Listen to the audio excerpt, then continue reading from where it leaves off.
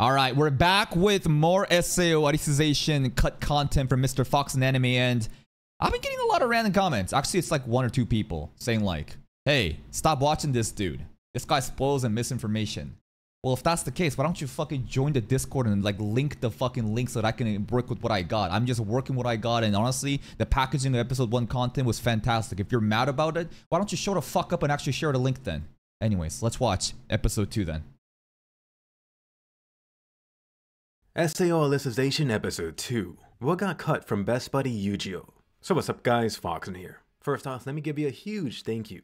There's actually a lot of interest for the first changes video for episode 1. Definitely do like and comment to continue seeing these weekly. And Mm-hmm. yes, I do read everything you post. Anyway, let's dive into the underworld.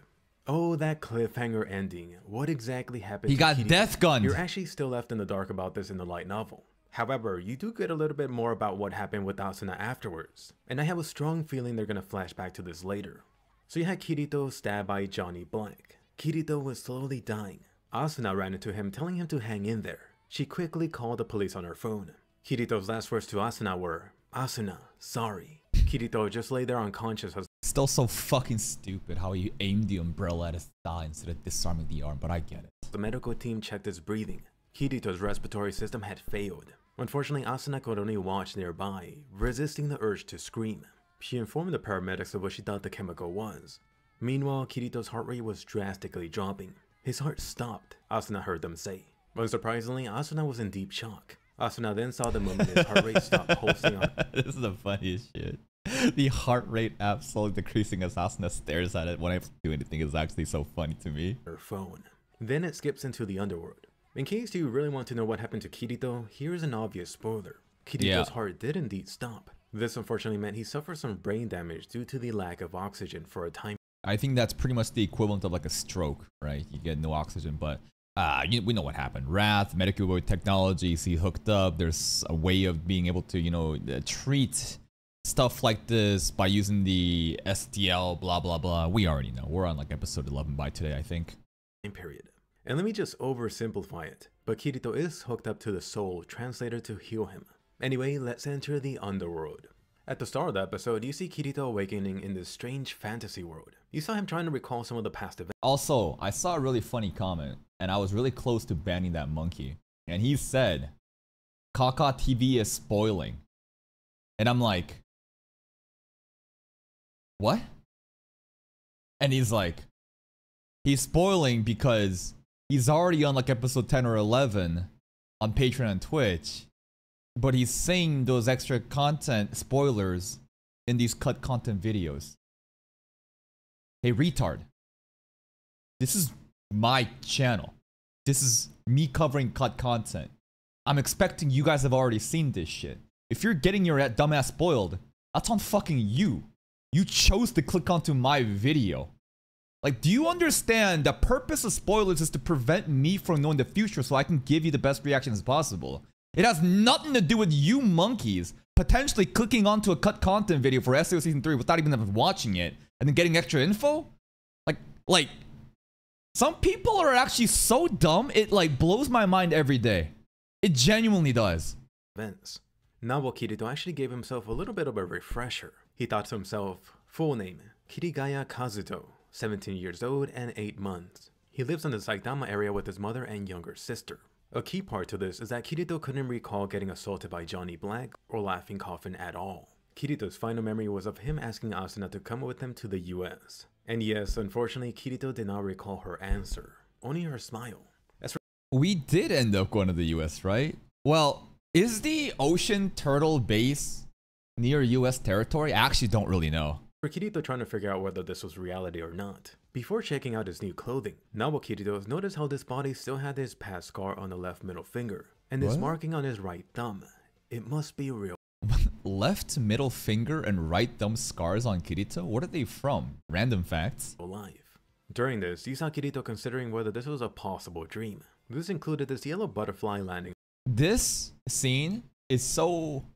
I don't know. It's because I actually pay attention to the fucking show. I thought this was such a cool moment because there's a direct moment in season 2, episode 1, when Kirito and Asuna, before they go to GGO, they're hanging out in the park and they talking about just full dive technology and the limitations. And there's this importance of, you know, lack of sensory info, such that they give a direct example. If a butterfly lands on your finger, they're not going to be able to feel it, even though it looks like it's there. And Kirito said, My dream is to be able to have technology that can have this sort of data, the sensory information, so that it feels real.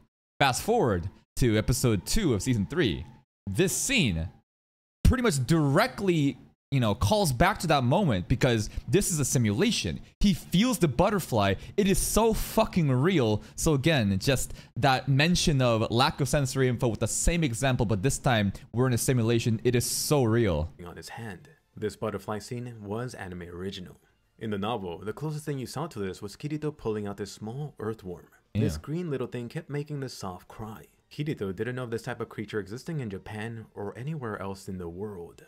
Nabo Kirito then noticed the extreme detail of this mystery world. VR worlds like SAO or any world used by the seed use something called detail focusing. Detail this allowed whatever spot you were looking at to be fully detailed, but not the stuff around it. This was currently a limitation of the VR hardware.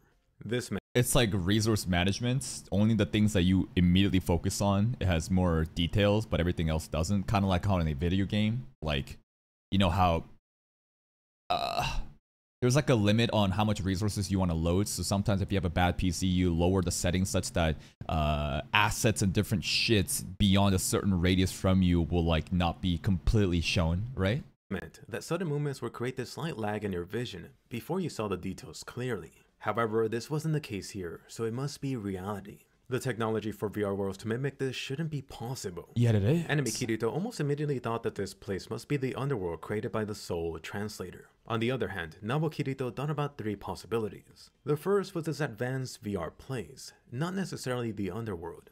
The second option was that he became part of this illegal experiment. He must have been placed in some remote region.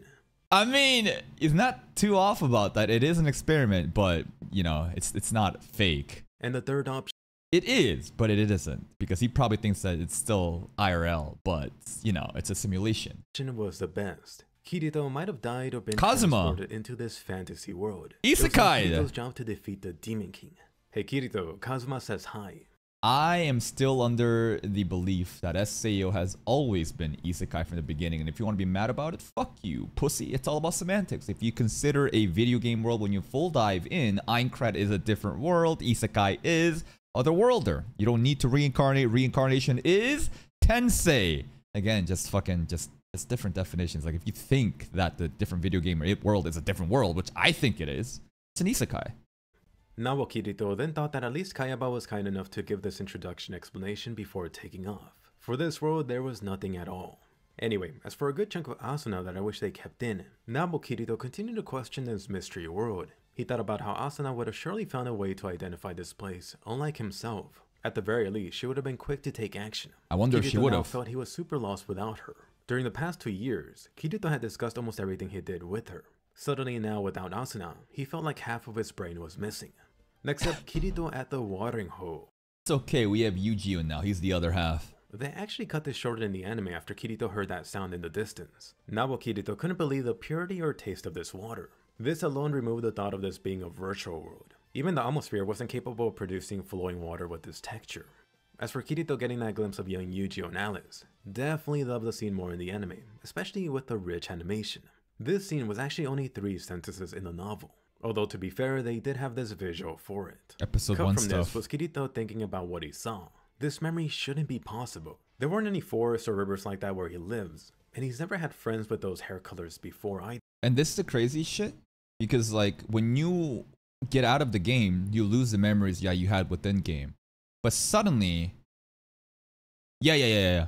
No, you do. You do. You do. No, no, no, it makes sense. It makes sense. Why was I getting confused? Because no, no, it's because this time when he got in, he ha- he retains the memories from before, like IRL, like all the events happen right until you know he got Death Gun. He retained that, but the first episode he didn't because why? Because the method of full diving is a different situation compared to when he was demo testing versus now where he's hooked up to medical technology. I'm not sure. either. The children he saw also looked like they were wearing fantasy clothing. The fluctlight acceleration meant he should have been inside the VR world for 10 days at most, which is why he shouldn't be feeling nostalgic about some random memory. Next up, Kirito meeting the Gigas tree and best buddy Eugeo.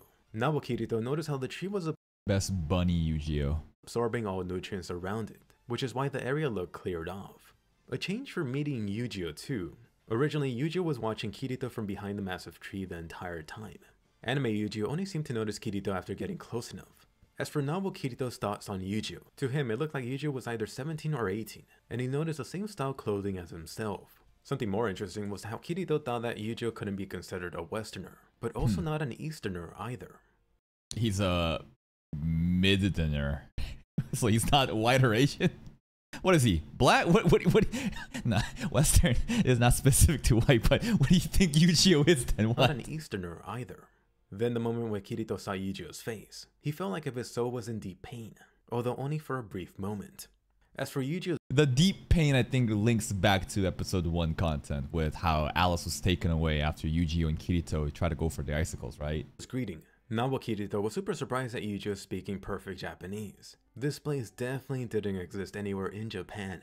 Anyway, a lot of these two intro conversation was kept the same. Nawa Eugeo did make a note about how Kirito's black hair was unusual in this area. It was possible he was born in the south. After Eugeo agreed to take Kirito Because the phenotypes of hair color here is all non-black, but in the south it is black. to talk to the guards. Nawa Kirito had further thoughts. So far, he concluded that Eugeo was not an NPC. Yeah, Eugeo's sure. replies were way too natural for this artificial personality program. His actions And now we do know that many of these characters are artificial fluctlights, right? They are NPCs, but they are very sentient and they can come with their own independent thoughts. And some of them can even be able to break the taboo index, and that's what Kikuoka wants. But there was the other mention of Kirito saying, like, questioning in the earlier episodes, like, they're they can't like these players cannot all be test players. There's so much limited, you know, this technology. But doesn't that mean there's still potential that there are like it's not just Kirito that's just a like an actual person in the simulation. I'm going to hold out and still believe that like there's gonna be other people like Kirito who are from the real world using a similar technology or the same Rath technology that are in Alicization, right? It can't just be Kirito and a bunch of AIs. I'm gonna guess at least one person, another person's gonna be in there, excluding Asuna. If Asuna never shows up, of course. But like right now, I wonder if anyone else is a test player. actions also didn't resemble those of NPCs. To him, the owner of this fluctlight had a really kind personality. He would have to thank him in real life personally. In the anime, this differed. Anime Kirito still continued to question whether Eugeo was an NPC or not. During their little self-introduction, Kirito was trying to find Eugeo's name in his memory, although no luck. Next up, Eugeo talking about his childhood The closest guy named to Yu-Gi-Oh that we've seen so far, fucking Eugene from the Salamanders and ALO. No, it's, there's no comparison here. friend Alice. Slight difference with the term they used. Eugeo's sacred task is now referred to as a calling in the anime. The rest of the Alice discussion also got abridged. Anime Eugeo left out the part about young Alice being chained in front of the village. Novel Eugeo further mentioned how he wanted to use the axe to attack the Integrity Knight, but his Yeah. body wouldn't move at all. because system alert showed up because this is something and and the anime still hasn't shown this in any other character but Yu-Gi-Oh. That's why I was questioning. I wonder if this is just something that shows a bit uniquely for Yu-Gi-Oh, but for everybody for Yu-Gi-Oh. And I'm not fucking asking for spoilers, but this is clearly a mechanic that prevents NPCs from breaking the taboo index. Rios wasn't able to overcome it. He just fucking killed himself. He just like blew up. Yu-Gi-Oh's eye blew up, then he was able to defy it. That was still a very interesting scene. I'm actually really surprised that the anime left out that Alice was about to get executed at the central city. Perhaps it's a little too obvious that Alice is still around. But is it really Alice? That's the thing we don't know about. Alice's synthesis 30. They said they're gonna get executed. All the prisoners, right? You take them, you break the taboo index. It's it's a law. You gotta get executed. But is it really within Rath's best interest to execute these NPCs that were able to come to their own independent thought and break the taboo index and potentially kill? Which is exactly what Kikuoka wanted. Just doesn't make sense to me.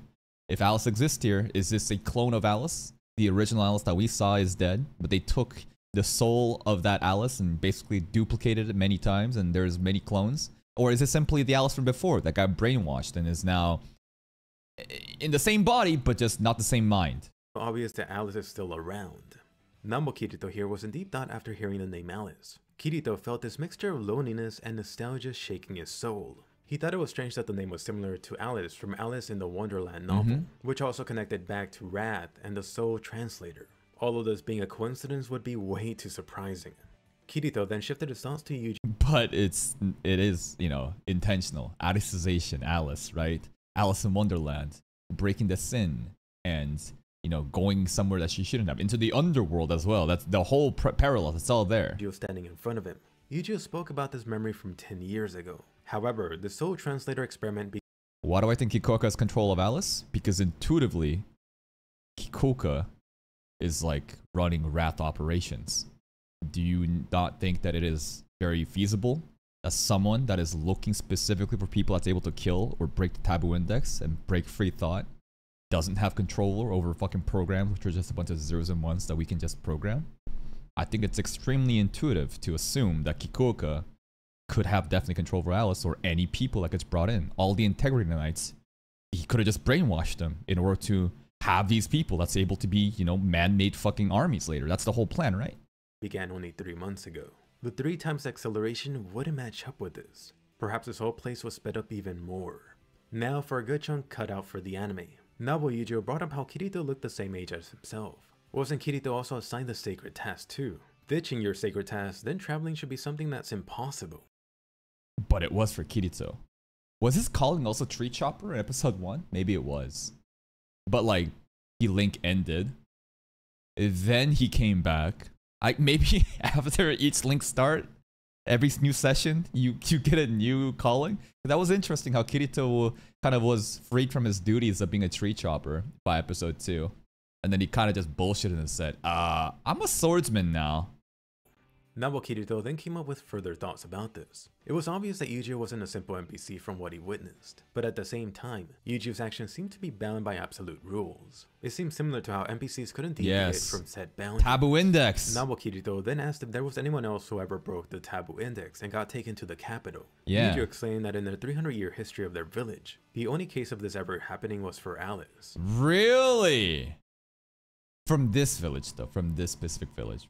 Because, like, number 31, we saw that new Integrity Knight. And Synthesis 31, obviously, if we're going by order of, like, joining, then 31, I guess, is after Alice, right? But only one person from this village ever has broken Taboo Index, Alice, huh? Here, Kirito was shocked at the 300 years mentioned. That shouldn't be possible. Perhaps the actual acceleration was several hundreds or a thousand times.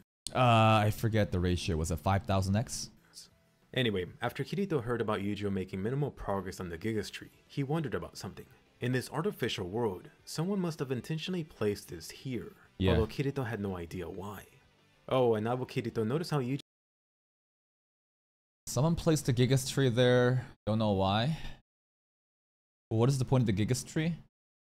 Honestly, I don't fucking know. It just exists to suck, suck up all the nutrients and prevents the village from being able to produce crops. And the calling of these different kids in the village were assigned the task so they could chop the tree down. But why would a dev potentially put the Gigas tree there? Sometimes, like, I just assume that it's a developer of Rath that did that. But I don't know. Maybe someone planted a seed a long fucking time ago. I don't know. I don't know. swinging the axe so fluently was as if sword skills existed in this world. Oh, they do. Next up, Kirito's own Oh, sword skills exist. These devs are so fucking lazy. Uh, they just basically copy pasted and just reskinned it with different names. chopping attempts. A change here with Kirito calling the sword skill Smash, instead of the sword skill Horizontal in the novel. As for Yujiro examining the Gigas tree's remaining life, Nabu Kirito actually thought about how it's strange that the name was a combo How about this? The Gigas tree was placed there with such an unreasonable durability. Obviously, no sane person would waste their entire life chopping a tree. And perhaps, again, this is one of those tests where they placed it to be like, is anyone gonna rebel? Like, are you really gonna spend the rest of your fucking life here chopping this fucking tree? Or are you gonna, like, abandon your calling, break the taboo index, and seek freedom? I could, I could believe that. Maybe. I, I don't know. I could totally believe that. both English and Latin. Seems that English words made up the world's so-called sacred arts. It was likely that Yujiro didn't know he was speaking the language called Japanese either. Next up, Yujiro putting the axe away. The novel actually mentions some just the fucking what if it was a dev dummy target to test damage? That'd be hilarious. like a simulation room, like a training punching bag, but they just placed it this random place. But it's intentionally sapping away the fucking nutrients and shit. I don't know, man. I wonder if there's an intention with this tree or not. If there is, who knows? If there wasn't, that's so fucking troll. Some other weapons in the shed, including this long leather item. Further cut was the talk about not stealing. Right here, Kirito asked why the village even needed guards if stealing was forbidden. Yuji explained that the guards protected the village from the dark forces. On the other side of the mountain The dark forces, the Dark Knights would cross the territory and, uh, and invade. I wonder if they've ever done that before. It was the land of darkness, where the light of Solus couldn't reach. In that dark land lived demi-humans like goblins, orcs, and other horrible monsters. And we fight them later. It was the duty of the Integrity Knights to protect the mountain range. And then for a major important piece cut out, Yuji mentioned how every 1000 years or so, the light of Solus would weaken. At that What? Every 1,000 years or so, the light of souls would weaken. The god of sun weakens. At that time, the dark force, huh? There's like this one time, not a century, but every 1,000 years, they're the weakest, and it's the perfect opportunity to attack. Surely that time is gonna.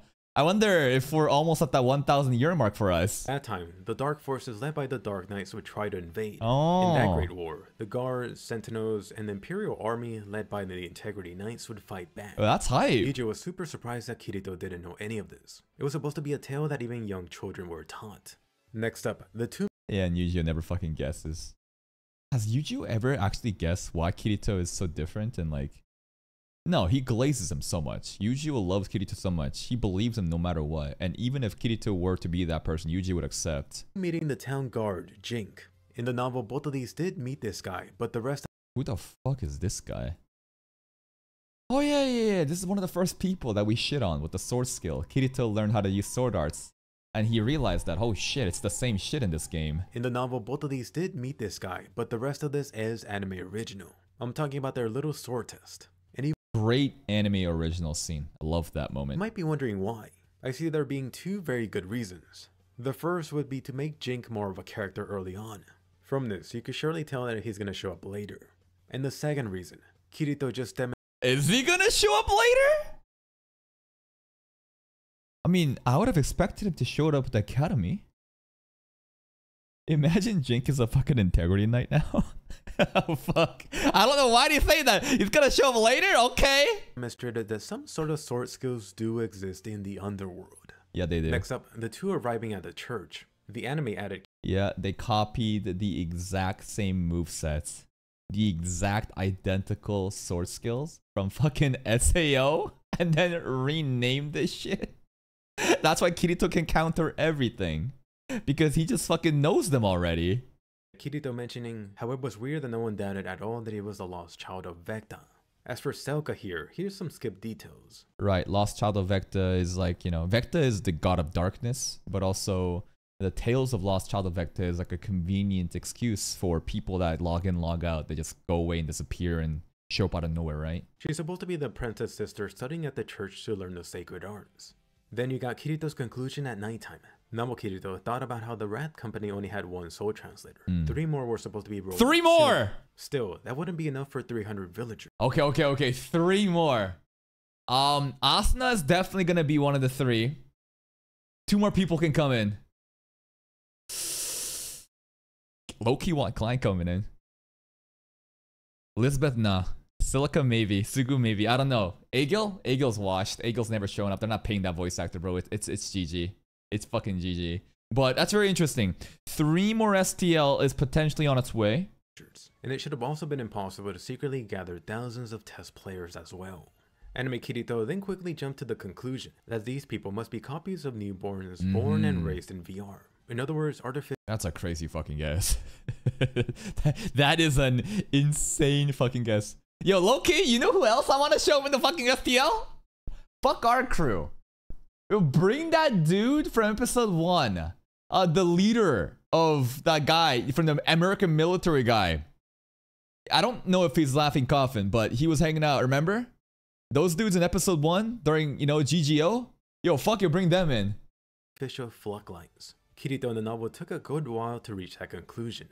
Kirito first thought about the possibility of them being AI, although current AI didn't have real intelligence. Yuji, for example, showed very natural human expressions. The highest top level AI This entire just season is the Turing test. It's like interacting with the computer and trying to realize like, is this AI? Is this computer? Are you real? Are you fake? AI the kid that Kirito was familiar with was Yui. It was after only monitoring thousands of players that Yui was able to build up this amazingly large database to reply from. Yui might be considered real intelligence. However, Yui was not perfect. Yui would sometimes express mild confusion when her database didn't have the information. Yui was still so fucking cracked. All of season one and two, like Yui clutched so hard. Even in season three, the way that like Yui was able to help find where Kirito was located. Remember that episode when we were outside the game and Asuna went over the had the uh, undercover uh, secretary look from Rinko and stuff. Yuji and the villagers were vastly different. Now, getting into the talk about the Oh, artificial fluctlights. Assuming Kirito was right, Rath could be reaching into the realm of the gods. literally realm of the gods that whole example scene where higa's unperfected ai was questioning i am the real thing why am i stuck in here that was actually traversing the boundaries of mortals that that felt like an abomination something that mankind should not be touching intuitively just from within, I can just feel that it's wrong, even though I don't know how to really express it. But Kikuoka's trying to do that. He's trying to create these artificial fucking clones that's able to kill and break in the, uh, break the taboo index and be able to be soldiers, so that potential SDF members don't have to die anymore, right? Instead of real people dying, let's just copy a bunch of uh, AIs, implant their souls into the you know the robots that Higa is also making. There's like you know uh, Ichimonji or something is number one prototype. There's like Nimonji or whatever, Niemon I think. And then we're gonna have basically Clone Wars. Just implant souls. Just implant a bunch of fucking Alices into a bunch of robots, and they'll be the next super soldiers that can fight against I don't know mankind. And next up, that mysterious ending. Technically, all of this is anime original. You might have guessed what this White Tower is. It's actually the so-called cathedral. Church in the central city. As for who this naked lady That is still a mystery. We saw her once. She has blue hair. Have never seen her again. is on top, she goes by many names. For now, just know that she's the highest ranking leader of the Axiom Church. Alright. She's known as the admin. The It's actually interesting how they're showing you her this early on in episode 2. In the novel, you Yeah, because like we're not gonna see her. Like we're on episode eleven or some shit. Still, we don't fucking know who she is. I've had a slight reference to the leader, but you don't find out or get any concrete details until way later. Yeah, I actually do like how they're giving you a taste this early on. yeah, sure. A taste for sure. Right now, I am planning to do a video explaining this underworld. That's coming up later. I'm trying to figure out how exactly to split up the information. It might be several videos. Better than I can farm more and more and more guys. Please go give Mr. Foxen Anime sub. Go check out his video and like it if you enjoyed it. Is this considered spoiler? Eh, mild spoilers. I don't mind having extra context like this, to be honest. And I just enjoy cut content stuff. But yeah, episode two was like back in the fucking game, and this time it's totally different, right? We're like, Kirito is back, but every time has passed and they don't remember him, but he kind of remembers a little bit and stuff like that. Anyways, if there's any um other cut content content creators that you, uh, you want me to check out, just like just, just fucking join the Discord. Just up on the fucking stream and join the Discord. That's that's literally where I fucking get pulled this shit from. But his videos are perfectly fine in my opinion.